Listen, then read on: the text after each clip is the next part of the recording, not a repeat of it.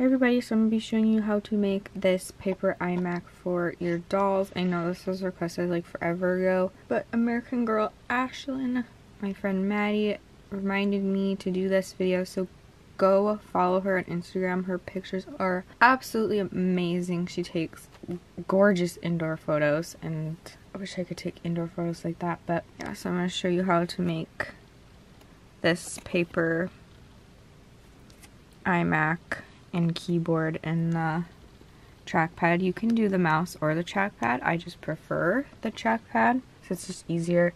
So what you're going to do is you're going to need a computer and a printer. So we're just going to type in Apple iMac and then you're just going to go to images and just find an image that you want, maybe with like your favorite background on it. So I did, you know, one that looks like that. Then once you found that and saved it to, I think I saved mine to my desktop. I have, you know, those ones right there saved already. So once you want the keyboard, you're just gonna type in keyboard and you're just gonna find one you like if you want, you know, just the normal one or the longer one with the number keypad on it. It's up to you. So I think I just did this one. Save that to your desktop or wherever and then you're going to do the trackpad or the mouse depending on what you would prefer. This one's a little bit harder but here's one right here. You want it like a top view. And then for the computer part you're going to want to do if you want to, you don't have to. I did, you know, print out a back for it too, but you don't have to. So you can just go ahead and find and one that you like. Maybe, how big is this one? How big is this one? This one's bigger, so it would be better resolution. So I want it bigger than that. So this one would not be good because that's the actual size of the picture.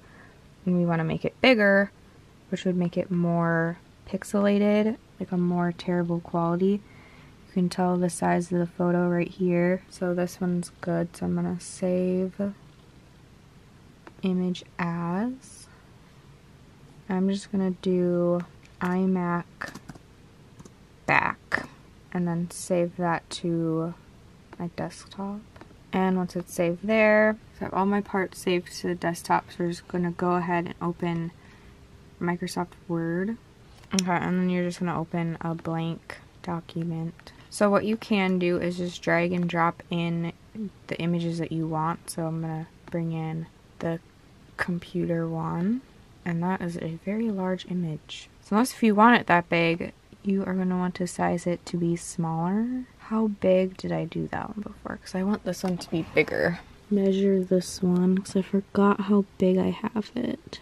Not even four inches and I think... So where you want it, um, you're just going to want to measure. So I'm going to have mine in here most likely. So I'm going to measure where, how big this is. So we can't make it any bigger than four and a half inches.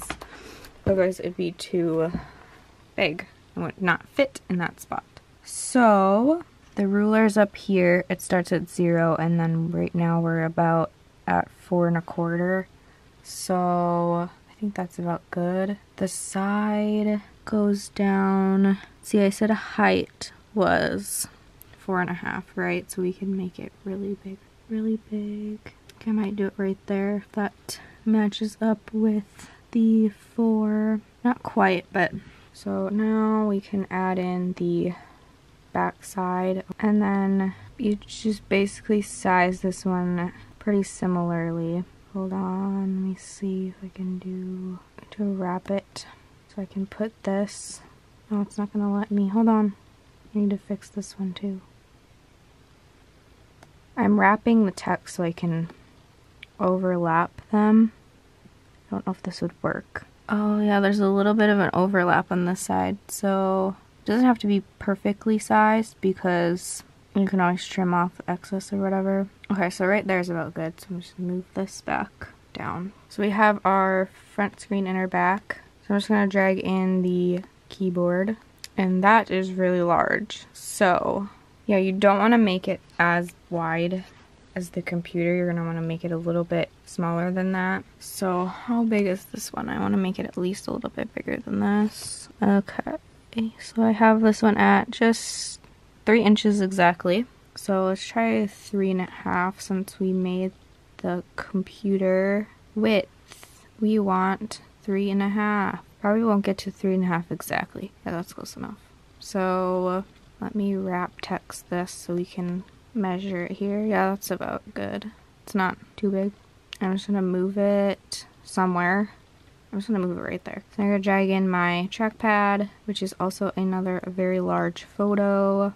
This is gonna be, it has to be the same height as the keyboard, so we're pretty similar. So these are pretty similar.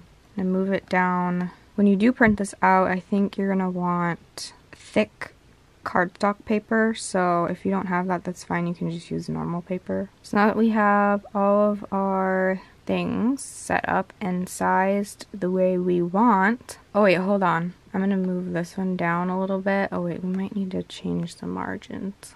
I'm gonna do 0.5 just so we can fit more on this page. So you're gonna wanna leave a little bit of space to create a stand for your keyboard and stuff. I did do hot glue before, but that just makes the paper curl, and we don't want that. So I would just leave a little extra space to be able to do that for the trackpad and the keyboard. And then I'll show you how I stand it up. So I just used a little piece of aluminum foil. And I think I hot glued it, but I don't remember on the back. So it helps it stand up just like that.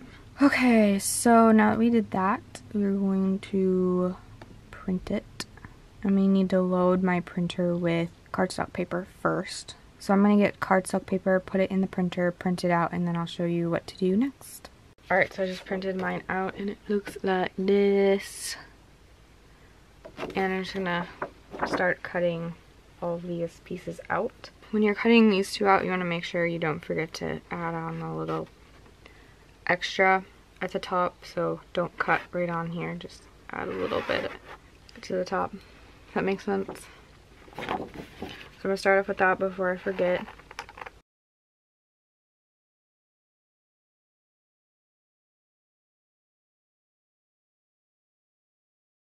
And when you're cutting the back of the computer, you don't have to keep, you know, this part of the back of it. You can just cut a straight line through because otherwise if you did that it would look funny on that one. So you can just cut straight through. And then this one you're going to want to cut out the stand. You're not going to want to cut right through otherwise your computer will not stand up.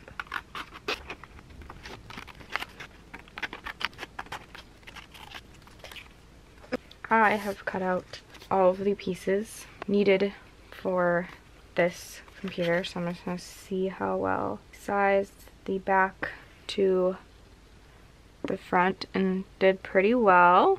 We can always trim off extra for this. For these two, the trackpad and the keyboard, what we're going to do is you're going to not cut through the paper. I'm going to score right on the black line and then I'm going to do it on the keyboard too. So I'm going to get a piece of paper so I don't scratch my computer. And you're just lightly scoring, you're not cutting this piece off. So then it should easily fold. And then you'd have a little stand, so it should know, kind of sit at an angle. Probably can't tell right now, but I'll show you after. Okay, I'm gonna move this over there. I'm gonna score this keyboard. I'd prefer to use a scissors to score because if you use an, an X-Acto knife, it will just cut that piece off. See how it just folds really nicely. So then your keyboard also has a little stand. So I'll take this off so you guys can see what I mean. See how they are now up at an angle like they normally would be. These are two, but you know, it kind of has that little gap right there doesn't stay down. So if you want to do the hot glue method, go ahead. But this is the new way I decided to do it, and it works great. So now we are going to have to glue the back side onto the front side. So I'm going to go get a glue stick and we'll get gluing that those two together. So I got a glue stick. I prefer glue stick instead of other liquid glue is because you don't want your computer to be, I don't know, I just don't like the liquid glue. I'd rather prefer use this because the liquid glue might bleed through this paper and cause the ink to get all gross. I would not use the liquid glue. If that's all you have, I mean, go right ahead. I'm not gonna stop you, but I prefer the glue stick. It might cause lumpiness if you glue it with uh, the liquid glue. And then I'm gonna move this paper out of the way since it has glue on it now. And then I'm just gonna press. And the liquid glue might cause the paper to curl as well, so sorry if you couldn't just see any of that that I was just doing. So yeah, the liquid glue might cause the paper to curl up. You don't want that. Okay, so this is what I have. And you can see there's like a little bit of white around the edges and I'm gonna trim that off.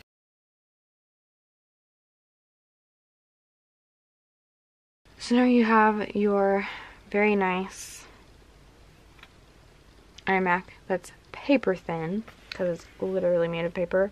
Now you'll need a piece of foil. So this is, I will measure it for you so you know how much to cut out. This is about two and three quarters inches. Would you want to say this is width? And then length is 12 inches. So 12 by 2 and 3 quarters or 2.75 inches. So now that we have this, mine's already kind of pre-folded, but I'm just going to fold it in half and then fold it in half again. And then you're just going to fold it in half this way, fold it in half again, Make sure it's all lined up. And then fold it in half again. And then here's your ending point and fold it in half. And then what you're to do, the reason I did glue, you know, like all of these pieces together to, hold, to hold it together. I said you don't have to do that, but feel free to. Now you're just to glue one of the sides onto the back of this. And you know, it should fit on here. If there's like overlap of aluminum foil, you can, I wouldn't necessarily trim it down and just try to fold it differently. So I'm going to glue mine on about right there. But I do need a hot glue gun for that, so we're going to now go downstairs and get the hot glue gun warmed up and ready to go. Alright, I don't know how well you guys can hear me, but I'm gonna glue all these little parts together now that this is warmed up. why the glue does not want to come out of here very well.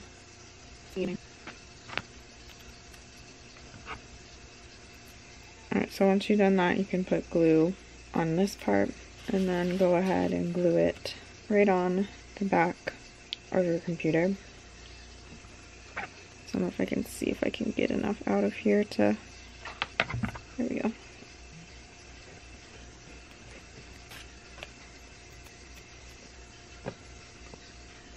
And there you have it. You can always measure, you know, how progress is going when you print out your first computer. So, you know, I had a little bit more space that I could have made it bigger, but this one is fine. It is much bigger than the other one.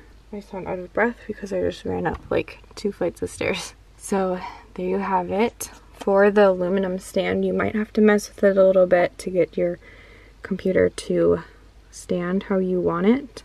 But I messed with mine for a little bit there after I glued it on and got it to stand up. So yeah, I'm use I'm using my old trackpad from the other set that I had made because the other one was just too big.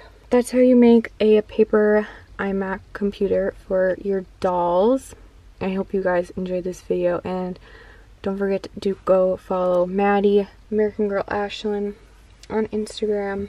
I will have her Instagram below so you can go follow her. But thank you guys so much for watching. I'll talk to you in the next video. Bye!